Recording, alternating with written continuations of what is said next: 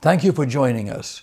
Today we'll focus on the Jewish community of Latin America with our guest, Dr. Eduardo Kohn, who is the B'nai B'rith International Director of Latin American Affairs based in Montevideo, Uruguay. He is a professor of history and the Shoah, and Dr. Kohn has lectured extensively throughout Latin America and will share his views on the challenges facing the Jewish communities of South America following these messages.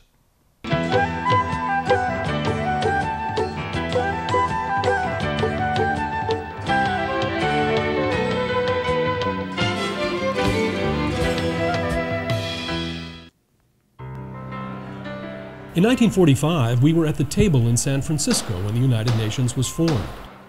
Today, as the only Jewish organization with full time representation at the UN, B'nai plays a vital role in the world body, advocating for human rights in all countries and serving as a strong supporter of Israel.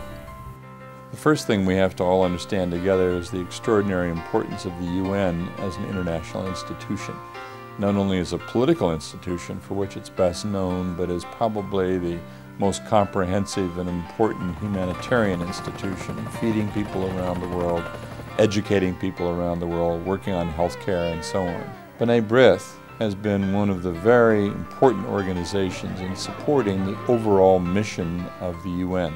Well, we think that B'nai B'rith is an extremely important voice at the UN um, most particularly because the U.S. Israel relationship is so important. In addition to our presence at the UN, B'nai B'rith also plays an active role as a non governmental organization in many other international groups, including the Latin American Trade Consortium Mercosur, the Organization for Security and Cooperation in Europe, and the Organization of American States. It is this international presence that enables B'nai B'rith to be so effective at helping people around the world.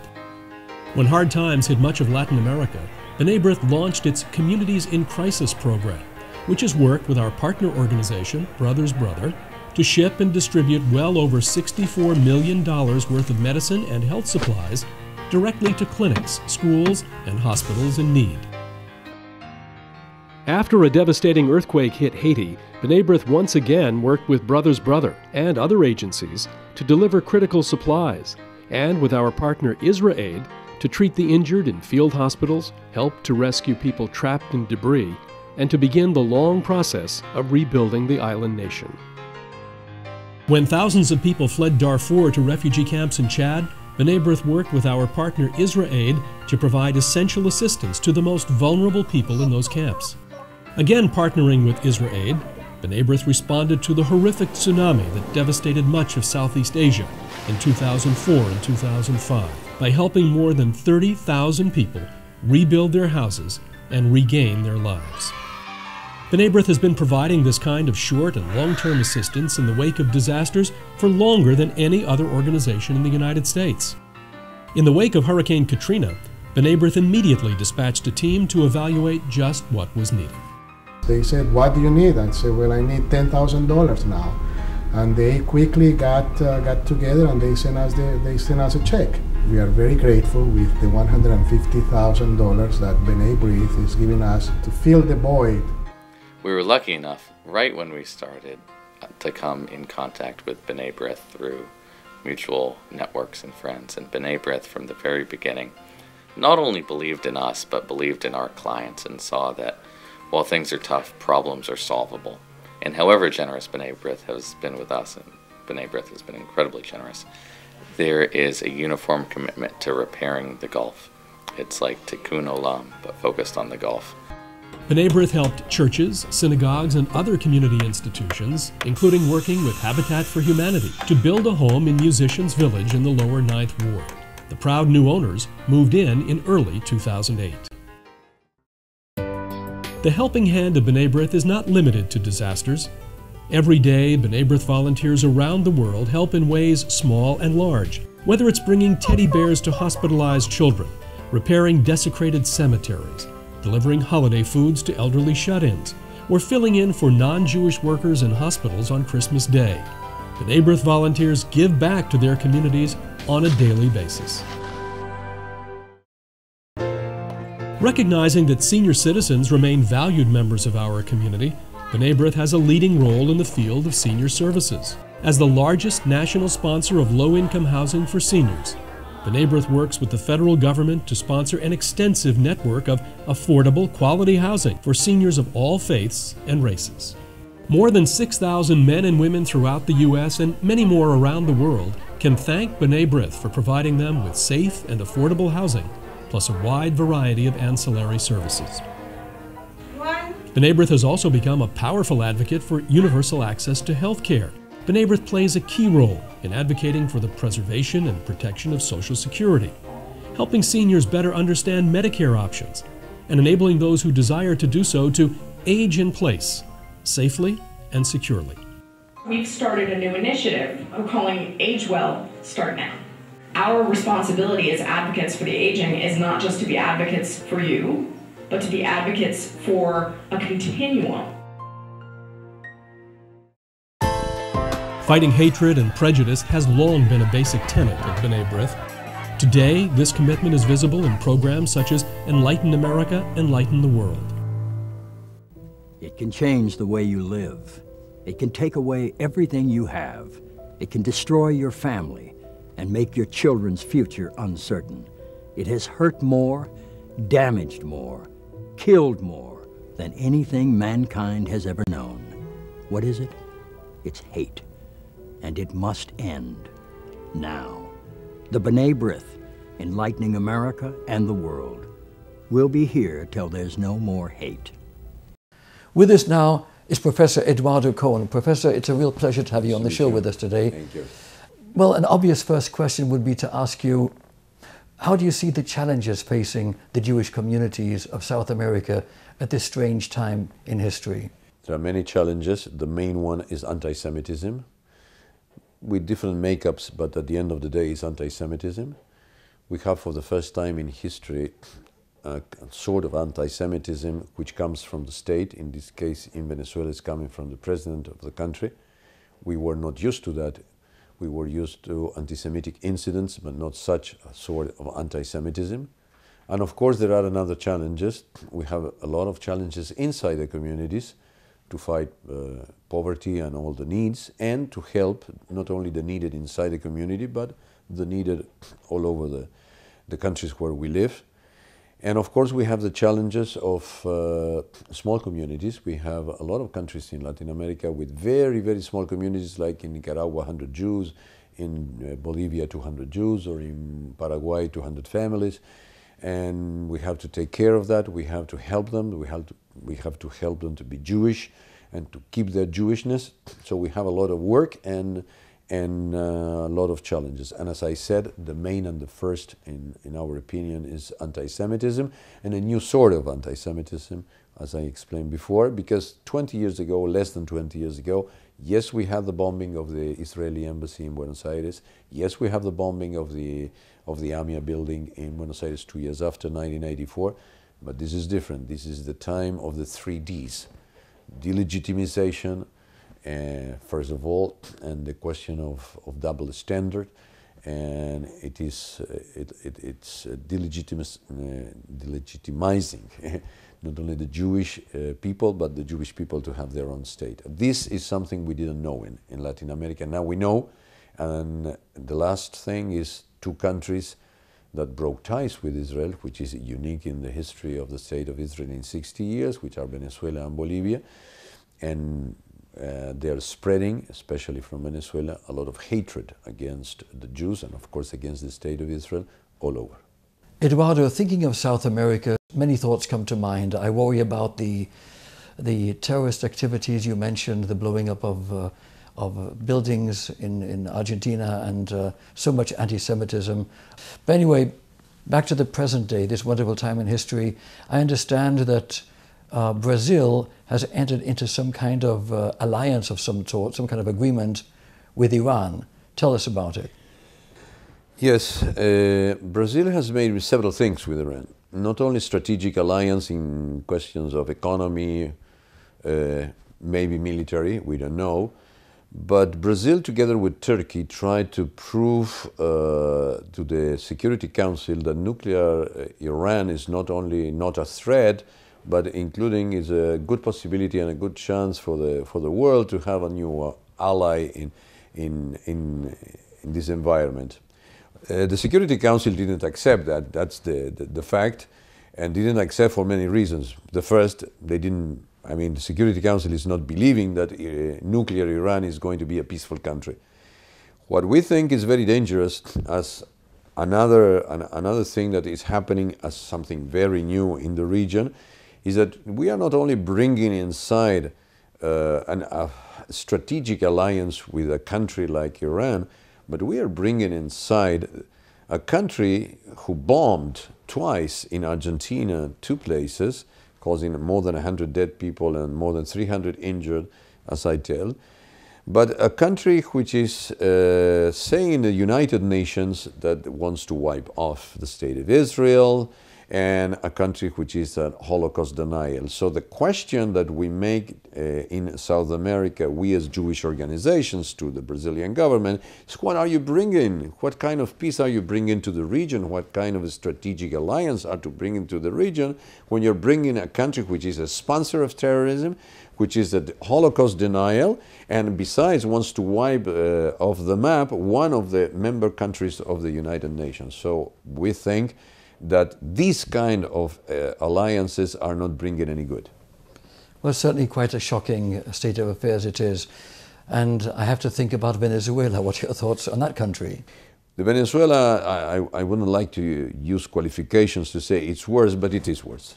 Uh, because from Venezuela, we have a period of time of more or less six, seven years where the president of Venezuela, uh, and his different uh, officials, ministers, and members of the government started a sponsored campaign against uh, the Jews. I mean, an anti Semitic campaign from the state, which is new, as I said, it's something new in the region.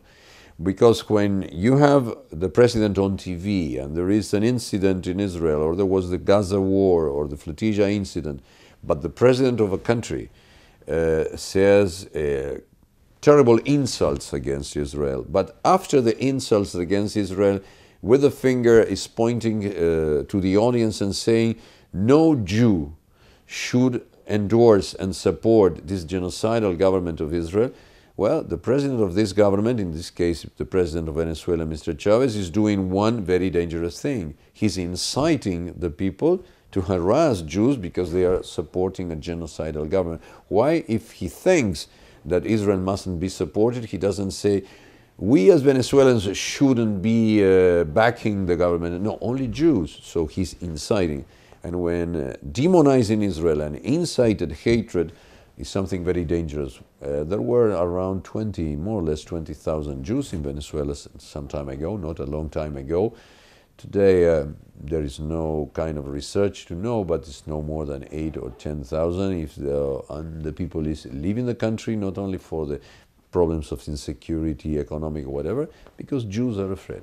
This is this is in one sentence the question. Jews are afraid, and we uh, fear for the Jews living in Venezuela. And you are a brave man for speaking out and doing what you're doing for the Jewish community and for B'nai B'rith in general.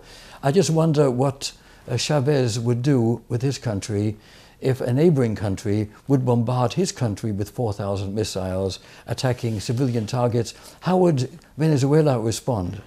Venezuela uh, did uh, in the last uh, year or more, when Uribe was president of Colombia, and now uh, there is another president, he threatened Colombia many times.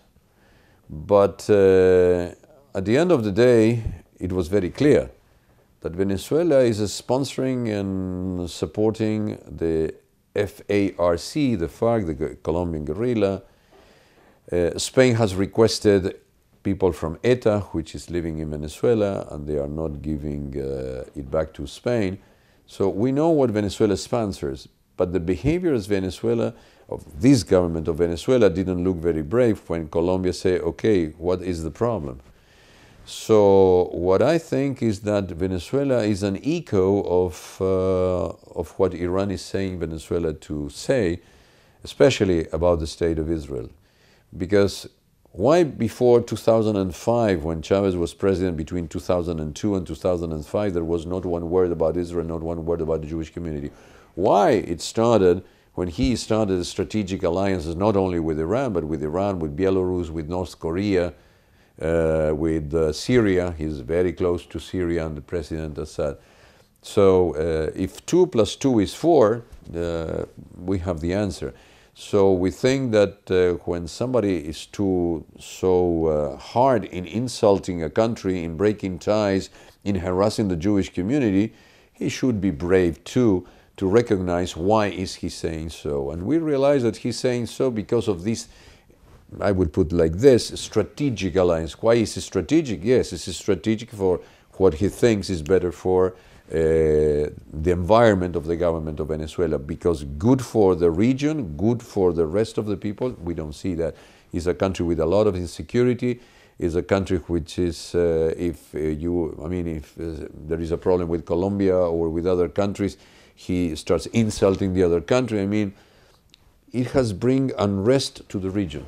Such a beautiful continent, South America, yet today, with so many unfortunate uh, things developing, such as a lot of uh, Islamic terrorists, Muslim terrorists are, I understand, um, integrating into businesses and communities and uh, developing a base in South America in order to attack America and, of course, the Jewish communities there. What are your thoughts with regards to the, uh, the uh, influx of terrorists? In South, in South America in particular, there are 10 countries. We must say that according to UN parameters and UN research, there are countries with high level of democracy, like Chile, like Uruguay, for example.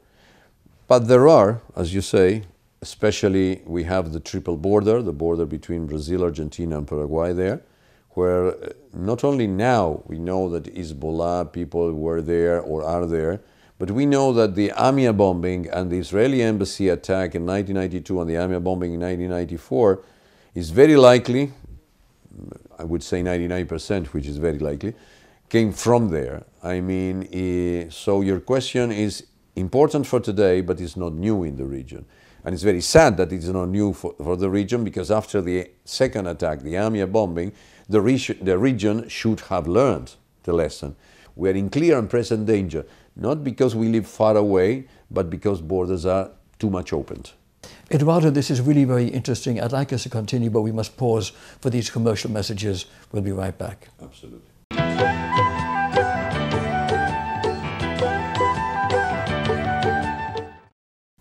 We're back with Eduardo Kohn.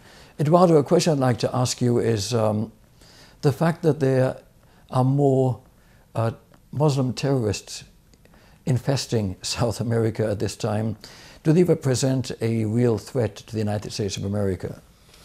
I think that uh, United States, I would say many administrations, I don't, we don't know why, which was the, the, the policy, but I think they have forgotten that uh, South America and Latin America in general is much more than a backyard. I mean, we are talking about 500, in this moment maybe more, million people. We are talking about 34 countries. It means that it's not only, as I said, a backyard, it is a world with its problems, but is the neighbor of the United States.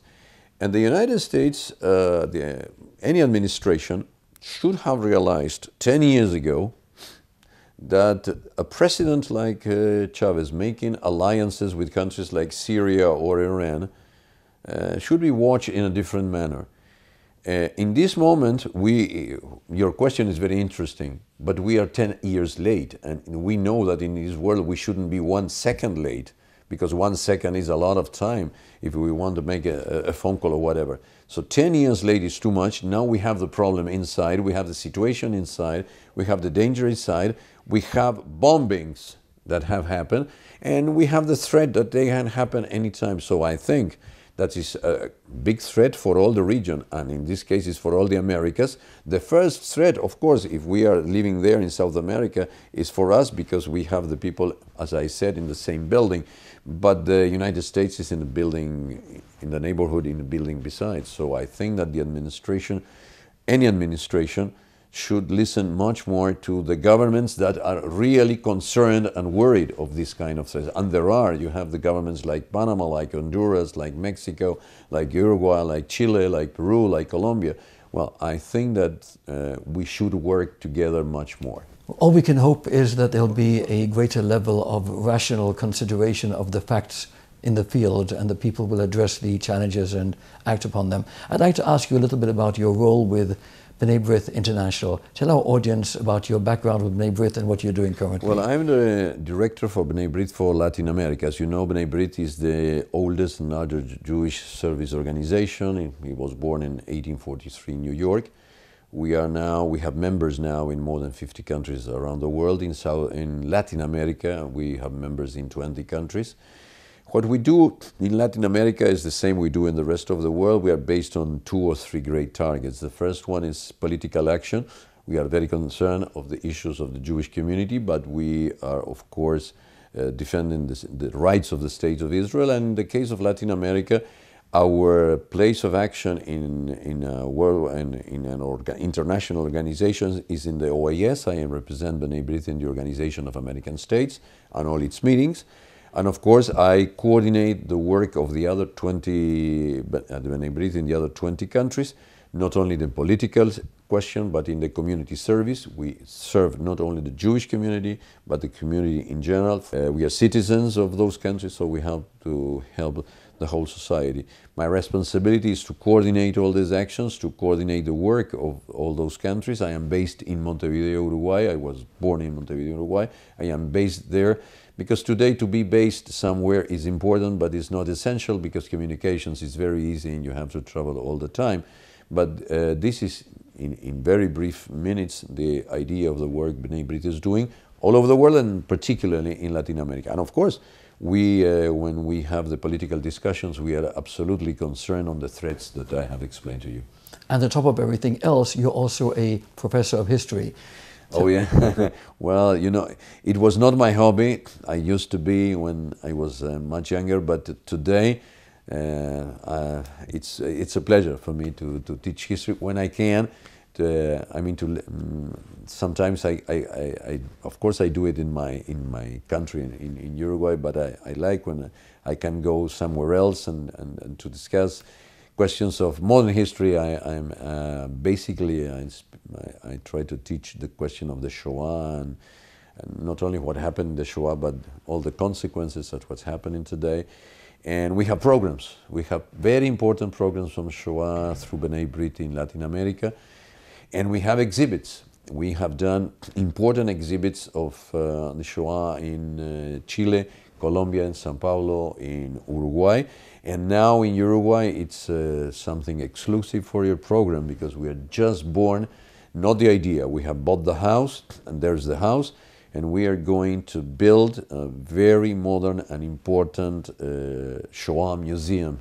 In, Interesting, like the one in Washington, D.C., which we Well, visited, we yes. hope that yeah. it's going to be such an important museum. We have another museum in uh, Argentina, it's a little smaller so we are doing a lot of work in question of education, and we try to do the best. Absolutely. Thank you so very much Thank for being with us, Professor. A real pleasure. Thanks to you. It was a pleasure. I'll be right back. This concludes our special show for today with Professor Eduardo Kohn. I'm Richard Peritz. Thank you for being with us.